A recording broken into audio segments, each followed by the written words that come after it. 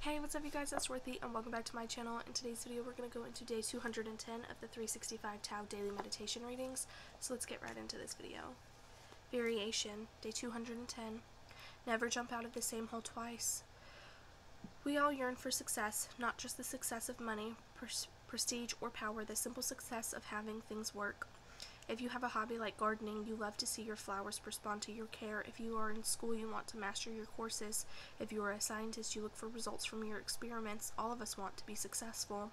But once you hit on something that does not work, it takes great courage to keep going beyond your limits.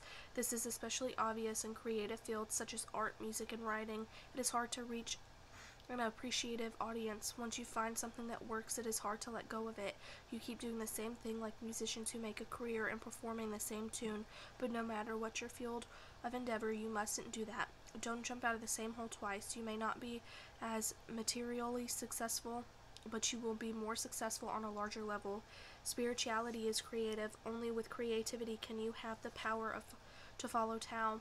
Only with creativity can you remold your personality into a spiritual vehicle. Only with a great breadth of variation can you follow the constantly changing Tao.